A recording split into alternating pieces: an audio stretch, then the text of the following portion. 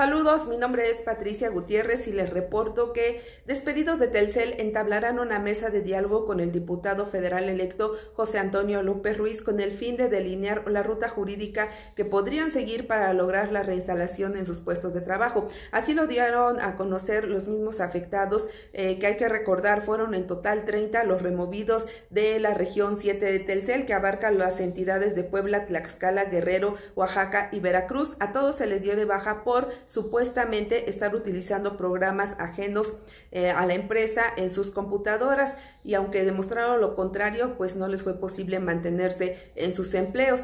Lo que ellos suponen es que eh, detrás de todas estas bajas, lo que realmente ocurrió es que en algún momento en el chat grupal del sindicato, pues pidieron mejoras o hicieron algunos cuestionamientos.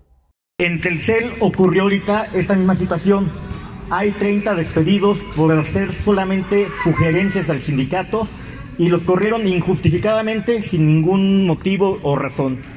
¿Cuál es la postura que usted tiene o si les puede dar el apoyo a los compañeros?